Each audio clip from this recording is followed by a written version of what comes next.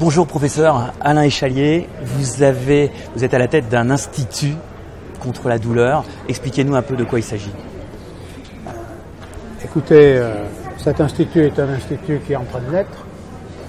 Euh, il part du constat que les traitements antalgiques sont un peu en difficulté aujourd'hui, qu'on dispose de traitements antalgiques anciens, qu'il y a un certain nombre de contextes douloureux qui sont peu euh, pris en charge ou pas suffisamment pris en charge. Notre objectif, c'est d'innover sur les traitements antalgiques en jouant sur la santé humaine, bien entendu, mais on se rend compte que le besoin existe aussi en santé animale. Et donc nous voulons innover dans ce contexte-là et essayer de participer à des progrès quand on sait que les traitements antalgiques sont anciens. Alors justement, c'est quoi le point fort de, de l'innovation que vous avez envie de promouvoir? Bah, Le point fort, c'est d'essayer peut-être de changer de stratégie et de partir du patient et de faire le constat que si on analyse clairement les caractéristiques du patient, qu'il soit humain d'ailleurs ou qu'il soit animal, on pourrait aboutir à des constats qui nous permettraient de, stratifier les populations de patients et d'aboutir peut-être à terme, il le terme est utilisé ici, à une médecine plus personnalisée et donc plus pertinente, mais aussi d'alimenter la recherche à partir des observations cliniques. Alors l'impact en termes de soins ou en termes de système de santé, notamment compte tenu de la réforme, euh, il serait de quel niveau, de quelle valeur?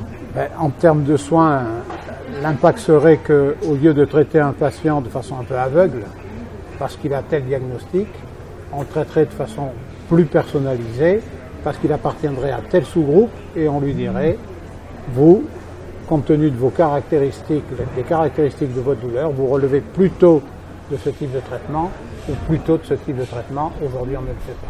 Quand vous parlez de groupe, vous parlez de quoi exactement? Il s'agit de faire des gabarits? Ben voilà, on peut dire ça comme ça, c'est-à-dire qu'on voudrait créer, avoir des cohortes de patients partout en France, et puis que ces patients fassent euh, l'objet de registres, ils soient intégrés dans des registres qui seront identiques. Hein, l'interrogatoire en quelque sorte, ou l'examen du patient sera le même partout en France. On aura donc des registres qu'on pourra ensuite traiter et à ce moment-là sortiront vraisemblablement des idées nouvelles en termes thérapeutiques et en termes de perspectives de recherche aussi. Justement, pour ces perspectives de recherche, qu'est-ce qui vous manque aujourd'hui? Qu'est-ce qu'il faudrait en France pour que ce type d'initiative puisse être promu, puisse être soutenu?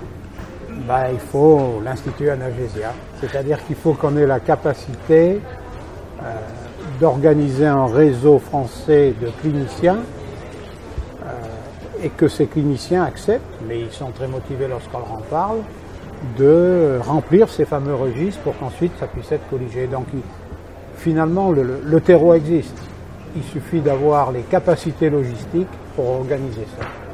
Et ça, c'est un problème de moyens humains et un problème de temps auprès des cliniciens. C'est un problème aussi financier. C'est un problème financier. C'est un problème aussi d'exportation éventuellement de votre de cet institut vers euh, au-delà des frontières françaises? Alors c'est un problème financier parce qu'on ne peut pas constituer des corps, c'est un coût tout ça. Donc c'est un problème financier, c'est une des raisons pour lesquelles on est passé d'une structure de cluster qu'on avait privé-public à une structure d'institut. Et la notion privé-public est importante pour nous. Et puis, bien entendu, on pourra ouvrir au-delà des frontières, sachant que certains pays ont un peu commencé déjà dans ce sens, de façon focalisée, mais ont commencé. On a des contacts étroits avec un réseau au Canada. Les Allemands aussi ont commencé à faire dans certains domaines un réseau de cette nature. Professeur, est-ce que vous estimez qu'il y a euh, certains blocages? Est-ce que vous avez identifié notamment un blocage en France pour ces développements? Et notamment le développement de votre institut? Non, il n'y a, pas de blocage, il y a un problème, euh, une nécessité de trouver des financements. Donc ça en soi c'est un blocage, mais nous avons bien l'intention de lever ce, blocage-là.